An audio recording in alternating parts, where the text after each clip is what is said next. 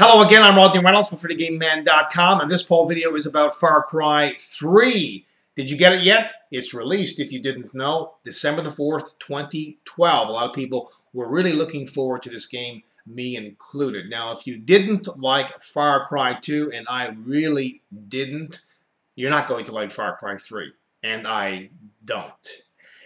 There is so much time wasted on driving and walking. It's a lot of it is pointless. I just want to get to the missions, do them. I don't want to be buying guns per se. I want to get out there, grab a gun, have a gun available, and just, you know, get things done. I don't care if a game lasts 80 hours. I don't have the time to do that anyway.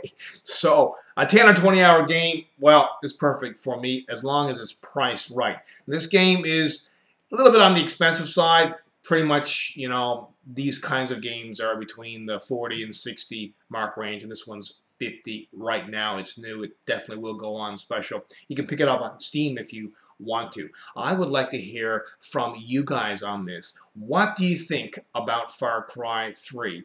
As I mentioned, I am not super impressed. I mean, the graphics are amazing, the gameplay itself is amazing, the storyline itself is amazing, but I just don't like the time required and the process by which you've got to move forward in the game so much. It's just me, maybe.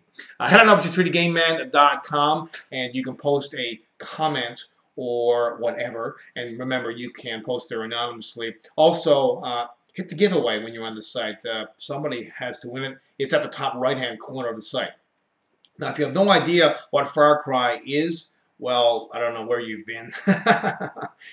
Most of you don't fall into that boat at all. Uh, in any case, you can visit this site, Far Cry 3. Um, it will take you to the developer's site um, and uh, there's more information about it here, videos and so on and so forth.